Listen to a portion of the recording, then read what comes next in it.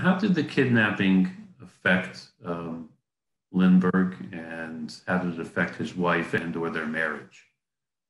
Um, it affected both of them. You know, Lindbergh was cold, sort of cool about it, and he never wrote about it. For all the things that he wrote about in his journals, he never wrote about his real feelings about um, what happened to his son. But you can see how it affected him. And I think the biggest way that it affected Charles Lindbergh is that he really soured on the United States. He really soured on um, the media. Um, he blamed the media for what happened, that um, they really did follow him around. He was the biggest story. They spied, they opened his mail, they listened in on conversations, they did whatever they could to get a story on Lindbergh.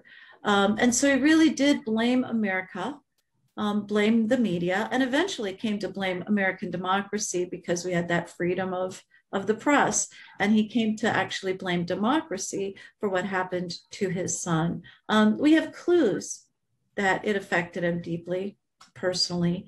Um, Reeve, his daughter, who's, who is still living, um, writes that she believed, I mean, he went to the morgue and identified that baby when he didn't have to. The pediatrician had already done that. But he felt that he had to do it.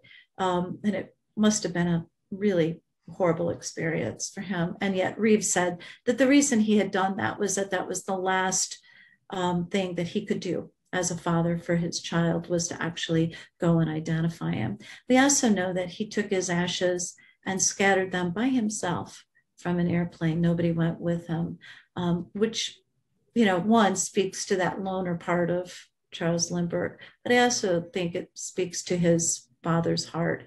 Um, as for Anne Lindbergh, she was devastated. She was crushed. She was um, really open about it. If you read her diary from that time, um, it makes you weep. Um, very open about the pain and anger that she was going through. But it also put a real um, um, wedge, drove a real wedge between them. It was the first wedge, I think, between them because she felt that she couldn't express, should she couldn't share her grief.